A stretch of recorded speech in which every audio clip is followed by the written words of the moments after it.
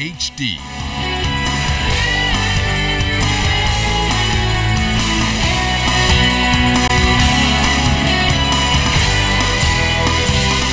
ZNS Network presents The Bahamas Tonight.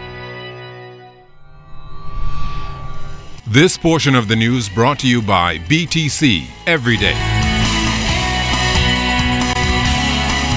Prime Minister on a crusade in Paris to gain financial support to address climate change here in the Bahamas. Good evening, everyone. I'm Chris Saunders. And I'm Charisma Robinson. Prime Minister the Right Honorable Perry Christie addressed business leaders in France this week, noting areas the Bahamas will be tackling as it seeks to deal with the challenges of climate change. Meanwhile, the Environment Minister is mapping out a plan to ensure the Bahamas is able to access that critical funding. Clint Watson starts us off tonight from this report from Paris. The Bahamian government says the message can never be reiterated enough. Should the sea level rise five feet, 80% of the Bahamas will be covered with water. And every time there is a weather system that creates a disaster in the Bahamas, we are reminded of the seriousness of this issue. Environment Minister, the Honorable Kenred Dorsett. We're in discussions with countries right now uh, where we are going to be able to get technology to help us to understand the extent to which our oceans are acidifying um, so that we would be able to take corrective measures. At a separate breakfast focusing on small island developing states, Prime Minister the Right Honorable Perry Christie told attendees that funding to address the devastation by weather and climate systems is also an important measure one that he also expects the local insurance industry in the Bahamas to participate in. As soon as I return home, I intend to look at the question of insurance and how this can help us recover the loss of damage from these storms.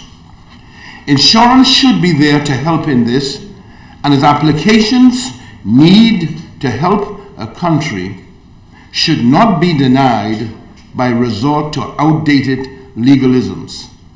This was our most recent experience with Hurricane Joaquin. Minister Dorsett says the funds are needed for adaptation and mitigation of issues spurred by climate change, and that goes as far as impacting energy usage and even food consumption. The United Nations has established a fund of $1 billion to assist countries. To this end, the government will be considering a separate agency under his ministry to ensure access to the various streams of funding available. Already, much work has been done to ensure the Bahamas qualifies. We'll now be focusing on putting in place the national entity which will be utilized to obtain funding through the, the Green Climate Fund. That's what we'll be doing when we return home. And that will become the instrument by which we're able to access more funding uh, from the GCF uh, and other bodies. But we also are going to have bilaterals with countries. Um, countries are making offers to the Bahamas to see what they could assist us with. And they want bankable projects. They, they, they want projects that are well structured. Um, and so there are some things that we're going to be doing in the uh, foreseeable future to enable us to access that funding. Some of it will be build, rebuilding coastal resilience in some of our islands. Some of it will be renewable energy focused. Some of it will be about building capacity uh, uh, in the country. Minister Dorsett says another focus while in Paris will be to ensure the Bahamas per capita income is not used against us in obtaining funding. We're certainly pleased that the United States of America last year made the giant leap of saying that they will not use that against us in terms of grant funding or our ability to access concessionary funds. We now need the European Union and other countries to follow suit. And so we'll be having discussions in the margins to speak to those particular issues because our vulnerability and looking at uh, our ability to finance these things ourselves ought to take precedence over our per capita income. The Bahamas is making a very strong case here in Paris, but the true test will come after all of the formalities and window dressings are done. And over the next two weeks, negotiations will actually begin here at the conference. Coming out of that, we'll know whether or not the kind of assistance we've been lobbying for has been granted. In Paris, Clint Watson, ZNS Network News. Bahamas Air is upgrading and expanding its fleet after the first one of five new airplanes touched down today. Cleopatra Murphy was there as the new aircraft arrived.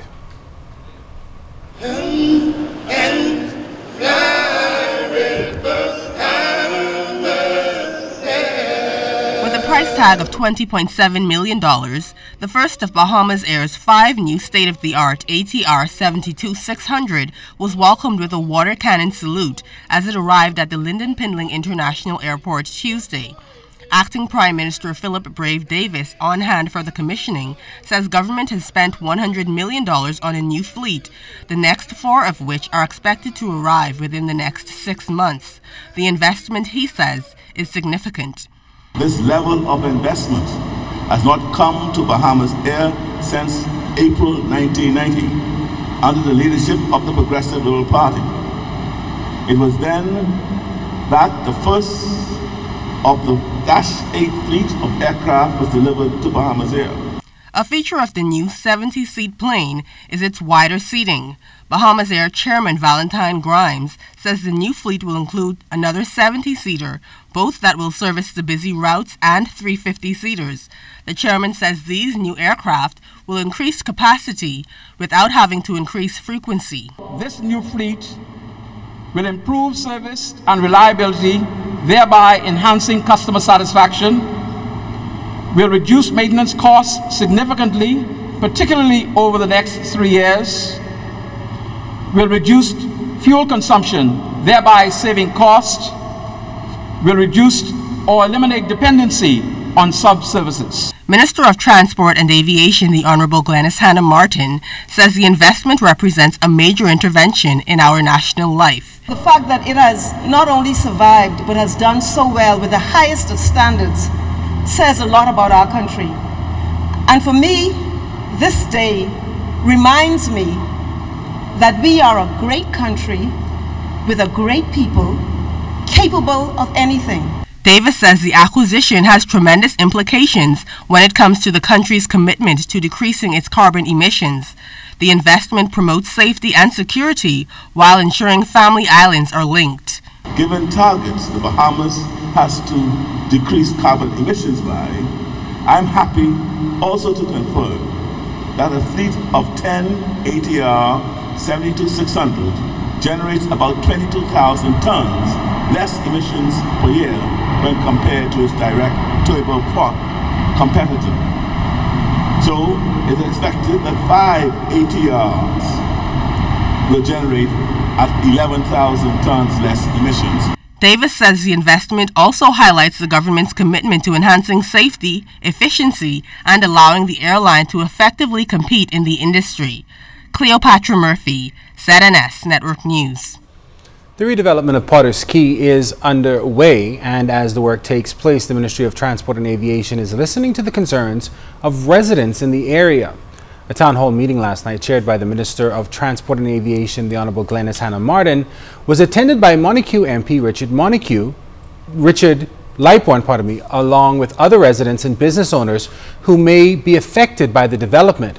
Mr. Lightbourne said the work comes at the right time proposal that has been given, I think, um, is a good start in terms of uh, what needs to be done to upgrade the whole area, to provide proper uh, access, to um, uh, to determine the um, the layout of the of the entire property. They're they're adding um, proper facilities for the docking of the boats. They're uh, going to upgrade the uh, the stalls on, on the area, provide a boardwalk um, along the waterfront.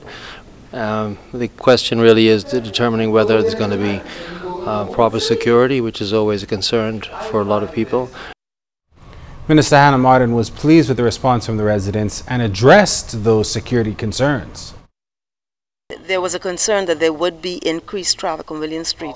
The technical persons here do not necessarily believe that will be the case, but it's a legitimate concern.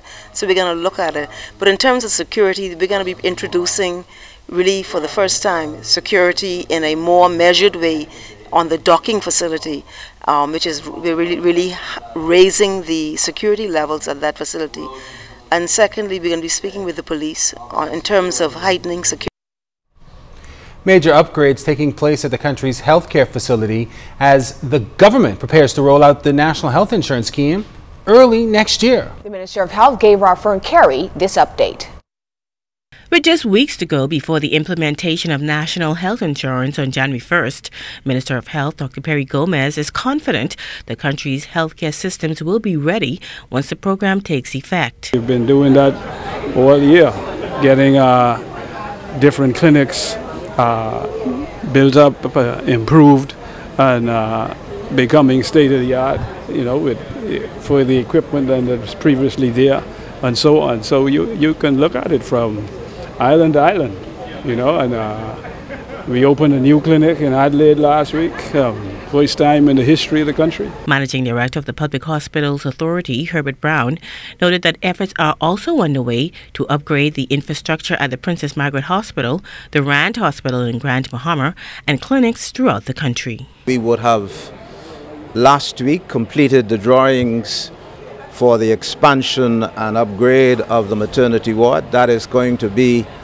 uh, in line with the standard where no ward going forward will have more than four patients assigned to it. This is a significant step forward because it provides some level of privacy that imagine what you have now with 15 and more patients in a unit.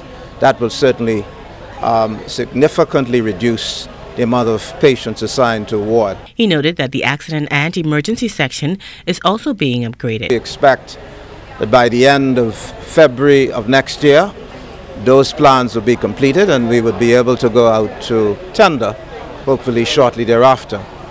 Uh, additionally, we are seeking to upgrade our imaging facilities at the Princess Margaret Hospital and the Durand in Freeport where we will replace the CT scans at Rand and in Grand Bahama, sorry, in Princess Margaret Hospital. And we will also, for the first time in the history of the public healthcare system, uh, seek to put in place an MRI, not only at the Princess Margaret Hospital, but at the Rand in Freeport. The managing director of the Public Hospitals Authority noted that additional staff will also be hired next year, paving the way for healthcare services to be expanded. Fern Carey, ZNS Network News. Thanks a lot, Fern. Minister of Agriculture and Marine Resources, the Honorable V. Alfred Gray, says with small farmers and agribusiness having a major challenge gaining access of funding from banks and other lending institutions, it is important to find an alternative means of helping them.